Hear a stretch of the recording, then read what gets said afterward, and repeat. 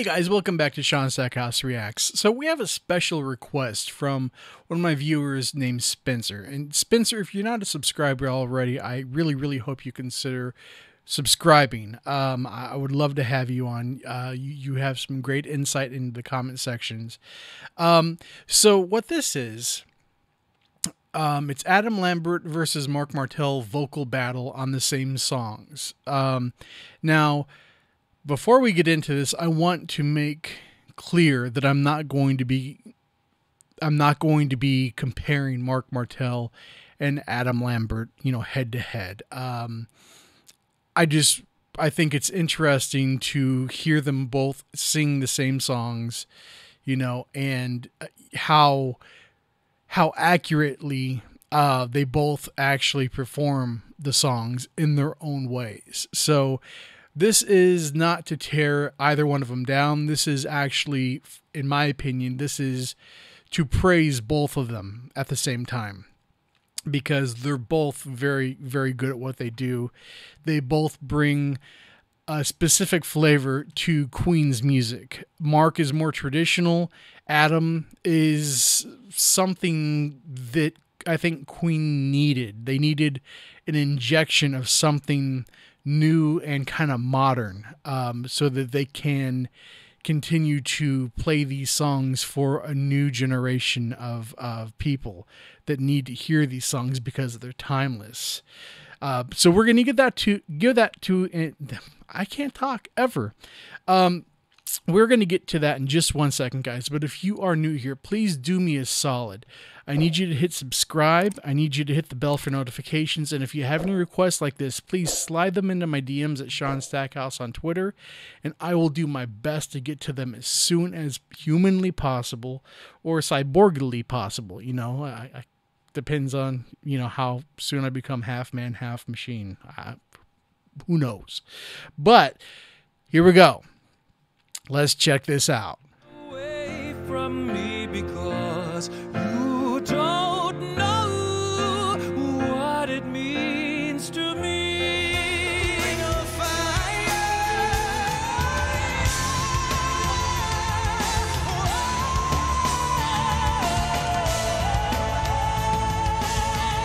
That's definitely not a Queen song. Here we go.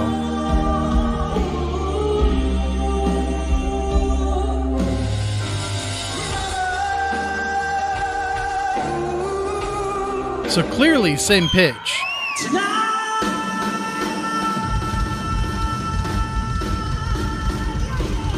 Same octave.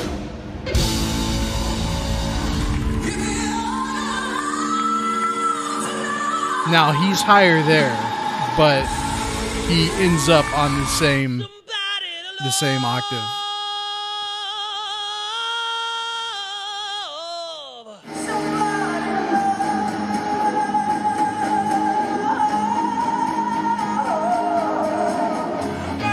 Both fantastic.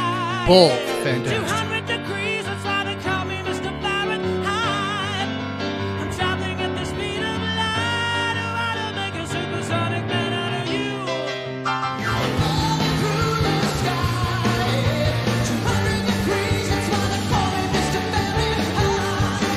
Man, both of them knocked this song out of the park.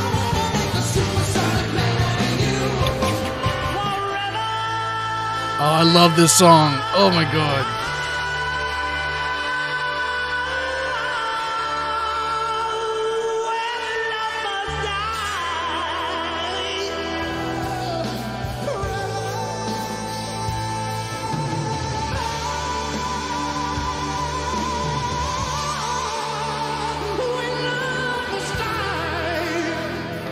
Now, the only thing that I will say, and this is not nitpicking or a critique, on the last part of Who Wants to Live Forever, there, Marc has that um, more of a chesty growl uh, than Freddie, and what Adam did worked exceptionally well. Um, but you know, I think that's why a lot of people um, like what Marc brings to the table because it's very when it's when it's that chesty thing, it's very very reminiscent of Freddie Mercury. But like I said, we're not we're not comparing.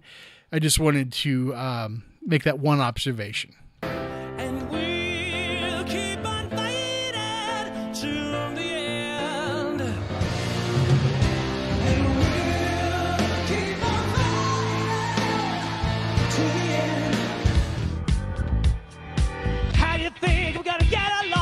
Rip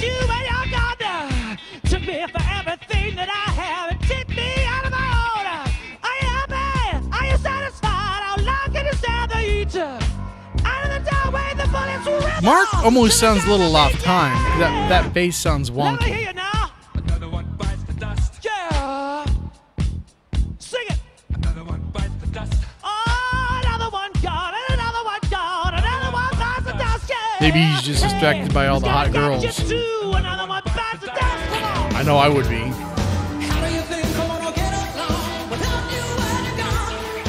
I have to say, Adam does this very, very well. When I saw this live in concert, I knew it was going to be a good show because this was like one of the first two, two or three songs they played.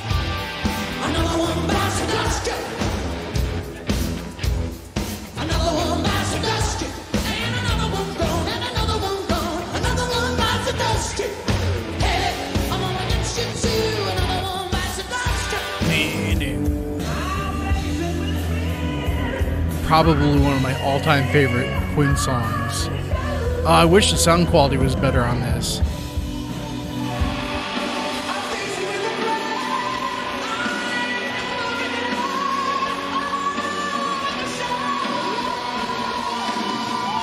You can just tell by his face the emotion he's putting into it. Again, with the chesty part, you know, the chesty thing.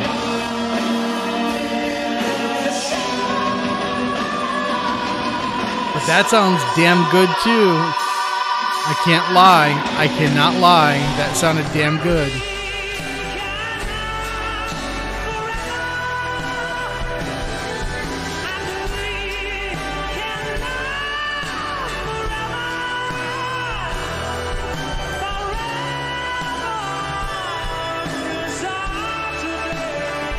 This entire concert is phenomenal. You can find it on YouTube.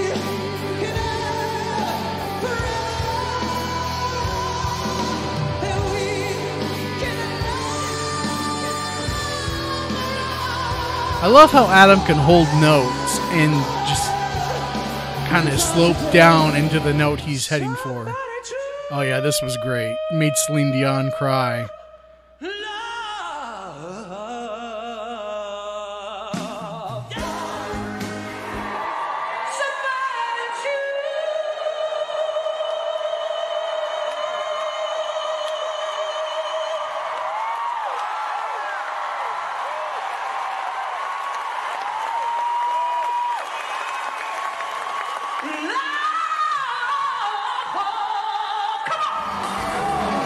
And that's Adam putting his spin on it, which, which is okay.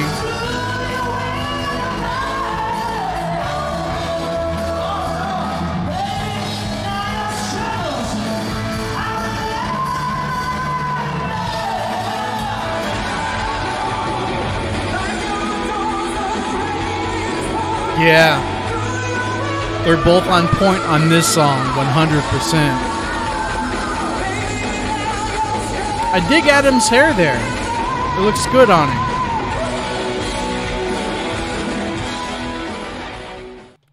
Uh, wow, that, that's all, man.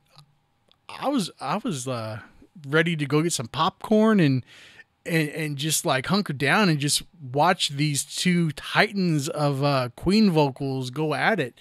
Um, that was fantastic, man. Fantastic. Both both of them were outstanding this is why we shouldn't be bickering about who's better, Marc or or Adam. And I know I'm as guilty of it as anybody else in some of my past videos. Um, while I would still love to see Marc do a one-off show, just a one-off show, that's all I've ever said, you know, for for charity.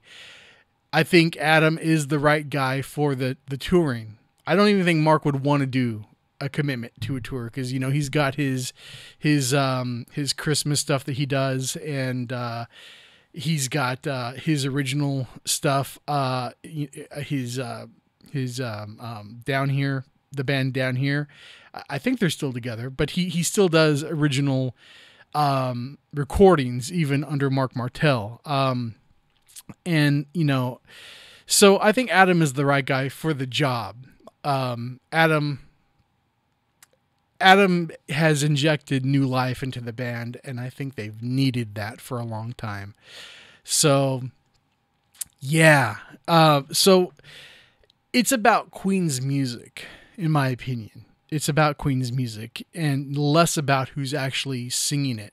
The only person that I didn't really care for singing Queen's music was Paul Rodgers from Bad Company, just because he did not have the range in my opinion, that uh, Marc Martel and Adam Lambert have. You know, there were certain songs where he could not hit the notes that Freddie could hit, and both Marc and Adam can hit those notes. So, I think this was a great video. Um, thank you again for the recommendation. Please, guys, let me know what you think down below. Um, you know, actually i'm going to save this comment for another video because uh, there was somebody else once upon a time that could have fronted queen and i think he could have done a damn good job. But that will be uh, my next video a reaction to that performance. And uh, i'm curious to see what you guys think about that. So before we end, guys, if you're new here, do me a solid, hit subscribe, hit the notification bell, and if you have any requests, slide those into my Twitter DMs at Shaun Stackhouse, and I will do my best to get those out to you as soon as possible. Thanks for watching, guys. I really do appreciate all of the back and forth that we have in the comments, and um, I will see you in the next one. Hey, guys, thanks for checking us out. Be sure to subscribe to both channels, and make sure to check out our friends in the Fandom Minutes. You can find us on YouTube, Twitter, Facebook, Instagram, and BitChute. And you can also send us an email at Shaun at ShaunStackhouseReacts.com and Chris Knight at TheRealReview3000.com. And be sure to swing by our Teespring store to pick up some awesome merchandise.